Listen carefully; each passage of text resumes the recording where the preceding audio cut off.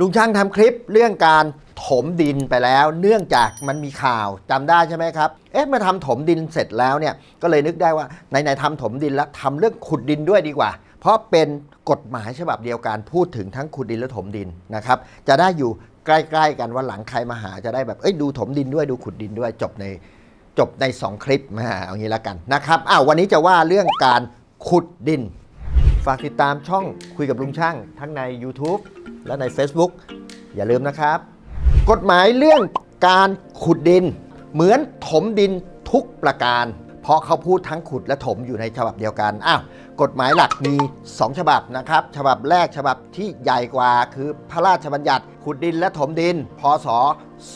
2543นะครับอันนี้เป็นพระราชบัญญัติ เสร็จแล้วก็จะมีกฎกระทรวงอีกหนึ่งฉบับที่ออก ภายใต้อำนาจของพระราชบัญญัติขุดดินถมดินนะครับ ก็คือกฎกระทรวงกำหนดมาตรการป้องกันการพังทลายของดินหรือ หรือสิ่งปลูกสร้างในการขุดดินถมดิน พศ 2548 มี 2 ฉบับ เดี๋ยวเรามาไล่กันดูว่าในนั้นสาระสำคัญมีอะไรบ้าง เรามาเริ่มที่พระราชบัญญัติการขุดดินถมดิน พศ 2543มันก่อน มาดูนี่เลยครับ มาตรา 4 ลุงช่างไฮไลท์ไว้ให้พวกเราเรียบร้อยแล้วนะครับ การกระทำแก่พื้นดินเพื่อนำดินขึ้นจากพื้นดิน หรือทำให้พื้นดินเป็นบ่อดิน พูดง่ายๆมีระดับอยู่ คุณทำอะไรก็ตามให้มันต่ำลงนะครับ จะเอาดินไปทำอะไรก็ตาม หรือวัตถุประสงค์เพื่อให้มันเป็นบ่อก็ตาม ถือว่าเป็นการขุดดินนะครับ ส่วนบ่อดินหมายความว่าแองบ่อสะนะหรือช่องว่างใต้พื้นดินที่เกิดจากการขุดดิน อันนี้มีความหมายนะครับมีความหมายต่อชั้นใต้ดิน ห้องใต้ดิน ข้อนี้มันถึงต้องมีขึ้นมาอะถัดไปมาตรา 6 มาตรา 6 นี่สำคัญ เดี๋ยวอธิบายให้ฟัง มาตรา 6 เขาบอกว่าเพื่อประโยชน์ในการป้องกันการพังทลายของดินหรือสิ่งปลูกสร้าง ตลอดจนการอื่นที่จำเป็นเพื่อปฏิบัติตามพระราชบัญญัตินี้นะครับ ให้รัฐมนตรีมีอำนาจออกกฎหมายลูก หลักๆ มีแค่นี้ มาตรา 6 เป็นการให้อำนาจ ให้อำนาจแก่ผู้ที่ได้รับมอบหมายอำนาจเนี่ยไม่ว่าจะเป็นท้องถิ่น ไม่ว่าจะเป็นคณะกรรมการ ไปออกกฎหมายลูกอีกทีหนึ่งซึ่งไอ้กฎหมายลูกนั้นก็ที่ลุงช่างแนะนำไปแล้วก็คือกฎกระทรวงที่จะพูดถึงในชั้นต่อไป มันจึงอาศัยมาตรา 6 นี้ในการออกนะครับลุงช่างตัดมาเลยนะครับ พาพวกเรามาที่หมวด 2 การขุดดิน เปิดมาด้วยมาตรา 17 เลย อันนี้สำคัญดูนะครับ ผู้ใดประสงค์จะทำการขุดดิน โดยมีความลึกจากระดับพื้นดินเกิน 3 เมตร หรือมีพื้นที่ปากบ่อนะครับเขาบอกว่าปากบ่อนะครับเกิน 10,000 ตารางเมตร มี 2 ตัวเลขกันนะ 3 เมตรกับ 10,000 ตารางเมตร หรือมีความลึกหรือพื้นที่ตามที่เจ้าพนักงานท้องถิ่นประกาศในภายหลังนะครับแต่ตอนนี้ลึกเกิน 3 เมตรนะพื้นที่ปากบ่อเกิน 10,000 ตารางเมตรนะต้องแจ้งต่อเจ้าพนักงานท้องถิ่น นั่นหมายความว่าตีความง่ายๆแบบนี้เลย ถ้าคุณขุดดินไม่ถึง 3 เมตร นะครับไม่ถึง 3 เมตร และพื้นที่ก็ไม่ถึง 10,000 ตารางเมตร ไม่ต้องไปขออนุญาต แต่ถ้าเมื่อไหร่ขุดลึกเกิน 3 เมตร ต่อให้คุณขุดบ่อไม่ใหญ่แต่ลึกเกิน 3 เมตร ก็ต้องขออนุญาต หรือคุณขุดไม่ถึง 3 เมตร แต่ปากบ่อเกิน 10,000 ตารางเมตร ก็ต้องไปขออนุญาตนะครับถ้าทั้งเกิน 3 เมตร และเกินหมื่นตารางเมตรก็ขออนุญาตอยู่แล้วนะครับเพราะฉะนั้นจำตัวเลขนี้ไว้ให้ดีนะครับว่าถ้าเกินนี้ต้องไปขออนุญาตถ้าต่ำกว่านี้ คุณไม่ต้องทำอะไรที่เหลือที่จะพูดต่อไปนี้ก็คือไม่ไม่ไม่ไม่อยู่ในข่ายที่คุณจะต้องปฏิบัติ โอเคไหมครับ ตัดชวบมาที่มาตรา 20 เขาพูดไว้อย่างนี้ ผู้ขุดดินตามมาตรา 17 ก็คือคนที่ขุดดินนั่นแหละจะต่ำกว่า 3 เมตร หรือไม่ต่ำกว่า 3 เมตรอะไรก็ตามเนี่ยต้องทำการขุดดินให้ถูกต้องตามกฎกระทรวงที่ออกตามมาตรา 6 หมายความว่าคุณดูแค่ฉบับนี้ไม่ได้นะตราบใดที่คุณจะขุดดิน คุณต้องดูฉบับนี้เสร็จ แล้วคุณต้องไปดูว่ามีกฎหมายอะไรที่ออกมาอีกไหม ตามอำนาจมาตรา 6 ซึ่งมี 1 ฉบับ เดี๋ยวลุงช่างจะไปลงรายละเอียดให้ฟัง ถัดมามาตรา 22 การได้รับใบแจ้งจากเจ้าหน้าที่ หรือเจ้าพนันท้องถิ่นตามมาตรา 17 ไม่เป็นเหตุคุ้มครองการขุดดินที่ได้ก่อให้เกิดความเสียหายต่อทรัพย์สินของบุคคล หรือต่อสภาพแวดล้อมข้อเนี้ยเขาเขียนมาเนี่ยค่อนข้างจะชัดเจนเลยว่า ต่อให้คุณได้รับใบอนุญาต คุณบอกคุณมีแบบถูกต้องเจ้าที่อนุญาตมาแล้ว คุณยังคงต้องรับผิดชอบต่อความเสียหายใด ๆ ที่เกิดขึ้น ไม่ว่าจะต่อสิ่งแวดล้อม หรือต่อบุคคล หรือต่อทรัพย์สินของผู้ใดผู้อื่น ยังไงคุณก็ยังคงต้องรับผิดชอบ เพราะนั้นใบอนุญาตนี้เขาไม่ได้มารับผิดชอบตรงนั้นให้คุณเขาแค่รับแจ้ง เขาถึงใช้คำว่ารับแจ้งไม่ใช่ไม่ได้ใช้คำว่าอนุญาตนะครับสำหรับกฎหมายฉบับนี้เขาบอกว่าคุณต้องไปแจ้งแล้วเขาจะออกใบรับแจ้งให้ หมายความว่าเขารับรู้ว่าคุณกำลังทำอะไร คุณต้องคงรับผิดชอบเต็มๆเหมือนเดิมนะครับ อันนี้ ข้อเนี้ยต้องตีความให้ชัดเจน แต่มันมีข้อหนึ่งข้อเนี้ยเหมือนกับเล็กๆ มาตรา 23 อะ ดูในนี้การขุดบ่อน้ำใช้ที่มีพื้นที่ปากบ่อไม่เกิน 4 ตารางเมตร ไม่ต้องแจ้งเจ้าต่อเจ้าพนักงานท้องถิ่น อันนี้มีความหมาย เดี๋ยวเดี๋ยวไปอธิบายให้ฟังอีกทีทำไมต้องเขียนข้อนี้อะบอกนี้เลยก็ได้ทำไมต้องเขียนข้อนี้ เพราะถ้าไม่เขียนข้อนี้บ่อบาดาลบ่อที่ชาวบ้านขุดน้ำใช้ใช้วงอะใช้วงปูนนึกออกไหมครับ ขุดลงไปอะต้องมาขออนุญาตทุกบ่อตายเลย โดนชาวบ้านด่าตายเลย เพราะอะไรรู้ครับ เพราะมันมีกับข้อกำหนด3เมตรจำได้ไหมความลึกเกิน 3 เมตร และบ่อเนี่ยเวลาเราจะหาตาน้ำเนี่ยมันเกิน 3 เมตร บ่อชาวบ้านขุดเนี่ยที่เป็นบ่อวงเนี่ยยังไงก็เกิน 3 เมตรส่วนใหญ่นะครับ หรือบ่อบาดาลเนี่ยขุดทีหนึ่งร้อยเมตร 200 เมตร 300 เมตร ถ้าไม่มีข้อมาตรา 23 เนี่ยมันเข้าข่ายหมดเลย มันคือการขุดดินหมดเลย ถึงความลึกเกิน 3 เมตรไง ต้องมาใช้พรบนี้เขาก็เลยต้องออกมาตรานี้ว่า ไม่รวมนะ ถ้าปากบ่อคุณนะไม่ถึง 4 ตารางเมตร แล้วที่สำคัญนะ ต้องเป็นบ่อน้ำใช้นะครับเท่านั้นนะครับ เห็นไหมครับเขาเขียนไว้ชัดว่าบ่อน้ำใช้ ข้อนี้ออกมาเพื่อการนี้ อีกข้อหนึ่งที่สำคัญมาตรา 24 การขุดดินโดยที่มีความลึกจากระดับพื้นดินไม่เกิน 3 เมตรอ่าเอ๊ะไม่ต้องขออนุญาตนี่นะไม่ข้องขออนุญาตเห็นนี่ เห็นบอกไว้แล้วถ้าไม่เกินหมื่นไม่ต้องขออนุญาต แต่ยังไงก็ตาม ไม่ใช่อยากจะทำอะไรก็ทำได้ มาตรา 24กำหนดไว้อย่างนี้ครับ เมื่อจะขุดดินใกล้แนวเขตที่ดินของผู้อื่น ในระยะน้อยกว่า 2 เท่าของความลึกของบ่อดินที่จะขุดดิน ต้องทำการป้องกันการพังทลายของดินตามวิสัยที่ควรจะทำอะทำรูปอธิบายไว้ให้ รูปนี้ลุงช่างทำไว้ให้นะครับ ดูง่ายๆ เอาง่ายๆอย่างนี้ ไม่เกิน 3 เมตรใช่ไหม ลุงช่างพอดีพอดีเลยตัดสินใจว่าจะขุดบ่อเนี่ยลึก 2 เมตร 95 เอ้ยพื้นที่ก็ไม่เกินหมื่นตารางเมตร เพราะนั้นบ่อดินนี้ลุงช่างไม่ต้องไปขออนุญาตอ่าไม่ต้องไปขออนุญาต แต่มาตรา 24 เมื่อกี้ก็บอกไว้ว่าตายแล้วถึงไม่ขออนุญาตนะ ถ้าจะขุดเนี่ยต้องห่างจากที่ดินข้างเคียงอะมากกว่า 2 เท่าของความลึก เช่น ลุงช่างขุด2เมตร95 ขอบบ่อลุงช่างต้องห่างจากเขตที่ข้างเคียงเท่าไหร่ครับ5เมตร90 ตามกฎหมาย ต้องทำ5เมตร90 เหตุผลสังเกตเส้นสีแดงกับเส้นสีดำไหมครับ อันนี้เป็นวิชาการเลยนะ แล้วทำไมตัวเลขถึงเป็นอย่างนี้ มันคือตัวเลข 1 ต่อ 2 เห็นไหมครับ ความลึกโทษ ความลึก 1 ความเขาเรียกว่าความลาดที่เอียงไป 2 เส้นสีดำนั่นแหละคือ 1 ต่อ 2 เห็นไหมครับ ขุด 1 เมตร คุณต้องห่าง 2 เมตร ขุด 2 เมตร คุณต้องห่าง 4 เมตร ขุด 3 เมตร คุณต้องห่าง 6 เมตร อย่างน้อย เพราะอะไรครับ ดินนะครับ เราลองสังเกตเวลาขุดหรือเวลาถม เราเวลาเราถมดินดินมันจะไม่ถมตั้งลงมาตรงๆถูกไหมครับ มันจะไหลลงไปแล้วก็มีเขาเรียกว่ามี slope ชันหรือไม่ชันมากหรือน้อยแล้วแต่ชนิดของดิน ขุดก็เหมือนกัน คุณเราไม่ขุดดีครับ ขุดทรายมันก็จะเอียงมากหน่อย ขุดลูกลังคุณก็จะตั้งๆได้มากหน่อย ขุดดินเหนียวก็จะกลางๆหน่อย นั่นคือเส้นสีแดง ซึ่งเส้นสีแดงส่วนใหญ่เนี่ยก็จะอยู่ที่ไม่ถึง1ต่อ2หมายความว่า ถ้าคุณขุดชันเกินไป ดินมันจะมีเส้นสีแดงโดยธรรมชาติ แต่คุณหาไม่เจอต้องคำนวณนะครับ ถ้าคุณขุดชันเกินไป ชันกว่าเส้นสีแดงที่ลุงช่างทำให้ดู มันจะพังทลายตรงนั้น ก้อนนั้นเนี่ยมันจะหาโอกาสพังทลายออกมาจนได้นะครับจนมาเป็นเส้นสีแดงมันก็จะหยุด เราก็เลยมีข้อกำหนดว่า safety ขึ้นมาอีกหน่อย เป็นเส้นสีดำหนึ่งต่อ2นี่คือเหตุผลที่กฎหมายระบุแบบนี้ไว้นะครับเพื่อความปลอดภัยแบบชัวร์เลยว่า พฤติกรรมของดินเป็นอย่างนี้ก็กำหนดไว้ให้พ้นจากก้อนที่มันจะพังทลาย นะมันจะได้ไม่กระทบข้างเคียงเห็นไหมครับ ก็อธิบายให้ได้ฟังแบบนี้ ทีนี้กฎหมายมันบอกว่าเฮ้ยถ้าอยากจะขุดใกล้กว่านั้นได้นะเขาพูดกำกวมไว้หน่อย เดี๋ยวค่อยไปดูรายละเอียดในกฎหมายลูกก็คือว่า คุณต้องมีมาตรการป้องกันการพังทลายของดิน ซึ่งหลักๆ เราก็รู้แล้วแหละก็คือกำแพงกันดินคือเขื่อนคืออะไรก็ได้ที่สามารถพิสูจน์ได้ว่า มันสามารถป้องกันการพังทลายดินได้ เพราะฉะนั้นถ้าคุณอยากขุดใกล้ชิดที่คนอื่นเนี่ยทำได้ไหมทำได้นะครับ แต่ต้องมีตัวป้องกันการอันตราย จากการพังทลายของดินเพิ่มขึ้นมา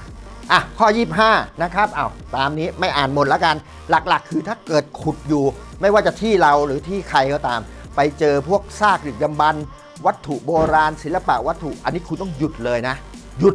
หยุดขุดเลยนะ เสร็จแล้วแจ้ง แจ้งเจ้าหน้าที่นะครับเราถึงต้องแจ้งกรมศิลป์เสร็จแล้วก็จะเป็นภาษาชาวบ้านของของผู้ลงทุนเขาเรียกความซวยมาเยือน คือคุณจะโครงการนั้นแทบจะต้องหยุดเลย เพราะถ้าเมื่อไหร่เจอพวกวัตถุโบราณหรือศิลปะมันต้องหยุดเลยกฎมันจะมีกฎหมายอีกของเรื่องของของวัตถุโบราณ พอกรมศิลป์เข้ามาดูแลปุ๊บคุณจบเลย โครงการนั้นแทบจะโอ้โหหยุดเลยอะ่ะเพราะว่าต้องให้เขาไปคนมาขุดมาล้อมมาทำกว่าจะทำกว่าจะแน่ใจว่าทำต่อได้ หรือดีไม่ดีทำต่อเลยไม่ได้ เพราะกลัวจะไปกระทบกระเทือน เช่นขุดขุดไปเจอฐานเจดีย์อย่างเงี้ยจบเลย เมื่อกี้นี้เป็นทั้งหมดที่สำคัญของพระราชบัญญัติขุดดินถมดิน ทีนี้มาต่อเนี่ยกฎหมายลูก กฎหมายลูกตัวนี้เนี่ยที่ลุงช่างพูดแล้วเมื่อกี้พูดไปแล้วก็คือว่ามันออกมาจากมาตรา 6 ที่ให้อำนาจไว้ว่าสามารถคณะกรรมการสามารถมาออกกฎหมายลูกได้ ก็มีกฎหมายลูกเกิดขึ้น 1 ฉบับ ก็กลายมาเป็นกฎกระทรวงออกพศ 2548 มาดูรายละเอียดกัน ไปที่หมวดขุดดินเลย เปิดมาก็ว่ากันด้วยหมวดหนึ่งเลยนะครับ การขุดดินตามมาตรา 17 มาตรา 17 คือกฎกระทรวงพระราชบัญญัติลุงช่างบอกไปแล้วนะจะทำได้เฉพาะในระหว่างเวลาพระอาทิตย์ขึ้นพระอาทิตย์ตก เพราะฉะนั้นทำโอ้ไม่ได้เหมือนกับตอนตอนถมดินเลยนะครับ ให้ทำได้เฉพาะตอนกลางวัน นะครับอันนี้เขาก็ย้อนพระราชบัญญัตินิดหนึ่งก็เหมือนกันก็คือว่าการขุดดินที่มีความลึกจากระดับพื้นดินเกิน 3 เมตร หรือมีพื้นที่ปากบ่อดินเกิน 10,000 ตารางเมตร ต้องมีแบบแปลนรายการประกอบแบบแปลนรายการคำนวณนี่เริ่มมีรายละเอียดแล้วหมายความว่าต้องมีวิศวกรเข้ามาเกี่ยวข้องแล้วนะครับ มีแบบมีรายการคำนวณ มีผู้ได้รับใบอนุญาตนะครับและต้องไปแจ้งขออนุญาตนะครับเนี่ยประกอบวิชีพควบคุมสาขาวิชาการโยธาไม่ต่ำกว่าสามัญวิศวกร เพราะนั้นขุดดินเหมือนถมดินคือภาคีไม่ได้เลยนะครับต้องเริ่มจากสามัญกับอุทิเท่านั้นนะครับข้อ5นะครับบอกว่าการขุดดินที่มีความลึกเกิน 20 เมตร โอ้โห แสดงว่าให้ขุดลึกได้ แล้วบอกว่าลึกเกิน 20 เมตร แล้วไม่ได้บอกว่าลึกเกิน 20 เมตร ไปจบที่กี่เมตรนะความหมายคือไม่มีข้อกำหนด อันนี้จะตอบคำถามได้ว่าถ้าไอ้ขุดให้ขุดได้เท่าไหร่ กฎหมายให้ขุดได้กี่เมตรอะ จะขุดสัก 200 เมตร บ้านมีตังค์อะอยากขุด 200 เมตรขุดได้ไหมเชิญ แต่มีข้อกำหนดอยู่นะครับไม่มีกำหนดความลึกไว้ แต่เดี๋ยวมันจะมีข้อกำหนดอื่น ๆ ที่มากำหนดคุณเอง เกิน 20 เมตร เขาขอแค่นี้ครับว่าหนึ่งแน่นอนต้องมีการป้องกันการพังทลายของดินหรือสิ่งปลูกสร้างนะครับ และต้องติดตั้งอุปกรณ์วัดการเคลื่อนตัวของดินด้วย อันนี้เป็นเพิ่มขึ้นมาสำหรับที่เกิน 20 เมตร ถ้าต่ำกว่า 20 เมตร ไม่ต้องมีเครื่องวัดตัวนี้ติดตั้ง แน่นอนมีรายการประกอบแบบแปลนรายการคำนวณ และที่สำคัญต้องใช้วุฒิวิศวกรแล้ว ถ้าเกิน 20 เมตร ต้องใช้วุฒิวิศวกรแล้ว ถ้าต่ำกว่า 20 เมตร ใช้สามัญวิศวกรได้ ความหมายอีกอันหนึ่งของอันนี้ก็คือว่า แสดงว่าการขุดทำชั้นใต้ดินเนี่ยไม่ได้มีข้อจำกัดความลึกไว้ และก็ไม่ได้จำกัดระยะล้นไว้ ใช่ไหมครับอ่า ข้อนี้มันมีต่ออีกนิดนึง ความในวรรคหนึ่งมีให้ใช้บังคับแก่การขุดบ่อน้ำใช้ที่มีพื้นที่ปากบ่อดินไม่เกิน 4 ตารางเมตร ก็ที่จุงช่างอธิบายไปแล้ว เหตุผลก็เพื่อเพื่อกันบ่อน้ำใช้ บ่อน้ำบาดาลซึ่งปกติลึกเกิน 3 เมตรไว้ จะได้ไม่ต้องมาเข้าข่ายที่จะต้องมาขออนุญาตมีวิศวกรวิศวกร ไม่งั้นชาวบ้านก็ตายเลย หรือว่าบ่อบาดาลทุกบ่อต้องมีคนเซ็นนี่ก็ตายเลยนะครับเขาก็เลยออกตรงนี้ยกเว้นไว้ มันมีข้อ 6 อีกเฮ้ยถ้าคุณไปขุดดินเพื่อจะฝังกบขยะเนี่ย อยู่ๆไม่ได้นะ คุณขอญาตขุดดิน คุณต้องสำแดงใบอนุญาตด้วยนะครับ เช่นคุณจะฝังเพื่อจะกบไอ้นั่นกบไอ้นี่คุณต้องได้ใบอนุญาตมา เอาไปสำแดงด้วยว่าเฮ้ยผมกำลังจะขุดบ่อขยะนะครับ มีแบบการขุดดินก็ขุดไป แต่ว่าต้องมีใบอนุญาตว่าคุณเป็นได้รับอนุญาตให้มากบฝังด้วยนะครับอะข้อ7นะครับอันเนี้ย ตอนพระราชบัญญัติเนี่ยเขาพูดถึงเฉพาะว่าถ้าขุดไม่เกิน 3 เมตรนะ ต้องเว้น 2 เท่าของความลึก แต่ไม่ได้พูดถึงว่าถ้าเกิน 3 เมตรให้ทำไง พูดแต่บอกว่าต้องมีอะไรป้องกันนะกฎกระทรวงนี้ก็เลยมาพูดถึงอีกข้อหนึ่งว่าเอาละถ้าคุณจะขุดดินเกินความลึก 3 เมตร แน่นอนต้องขออนุญาต อันนี้ไม่ต้องพูดกันต้องขออนุญาตอยู่แล้วนะครับหรือถ้ามีพื้นที่ปากบ่อเกินหมื่นตารางเมตรก็ขออนุญาตอยู่แล้วนะครับปากบ่อดินจะต้องห่างจากแนวเขตที่ดินของบุคคลอื่น หรือที่สาธาระเป็นระยะไม่น้อยกว่า 2 เท่าใช้ตัวเลขเดียวกันเลย ก็คือคุณขุด 10 เมตร คุณต้องเว้น 20 เมตรนะครับแต่ก็มีข้อยกเว้นไว้เห็นไหมครับ เว้นแต่จะได้รับได้มีการจัดการป้องกันการพังทลายของดินหรือสิ่งปลูกสร้าง ก็คือคุณจะทำเขื่อนทำกำแพงกันดินอะไรก็ตาม แล้วก็ต้องมีวิศวกรนะครับ เข้ามาออกแบบคำนวณให้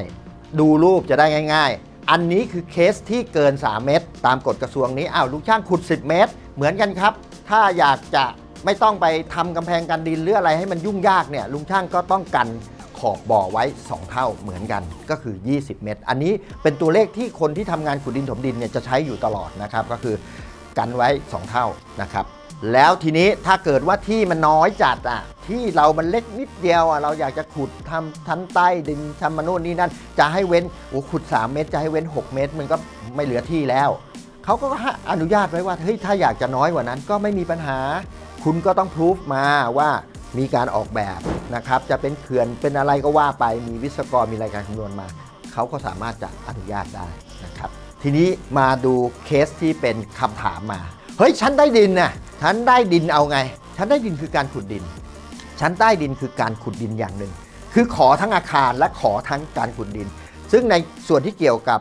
กฎกระทรวงเรื่องการขุดดินเนี่ยลุงช่างก็อธิบายไปแล้วว่า ไม่มีระยะล่นนะครับ คุณถ้าคุณสามีความสามารถในการที่จะขุดไปติดที่ดินของข้างเคียงได้ โดยที่ไม่ก่อให้เกิดความเสียหาย มีการป้องกันการพังทลายของดินได้อย่างดี มีวิศวกรมีแบบมีอะไรพูบมาเรียบร้อย แล้วสามารถสร้างได้ตามนั้น เชิญคุณขุดติดที่ดินได้เลย ไม่งั้นตึก ที่คุณเห็นห้างสรรพสินค้าใหญ่ ๆ ตึกที่มีชั้นใต้ดิน ที่นิดเดียวทำไมชั้นใต้ดินเขาอะไปติดที่ข้างเคียงได้ ก็เพราะว่ากฎหมายอนุญาตให้ทำได้นะครับ แต่ว่าเขาก็ต้องไปออกแบบอะไรต่ออะไรให้มันดี ซึ่งหลักๆ ส่วนใหญ่ที่ทำกันก็อย่างที่ลุงช่างเอากราฟิกง่ายๆให้ดูนี้ครับเขาไม่ติดหรอกครับเขาจะเว้นนิดนึงไม่ถึงเมตรด้วย เพื่ออะไรครับเพื่อไว้ปักชีตพาย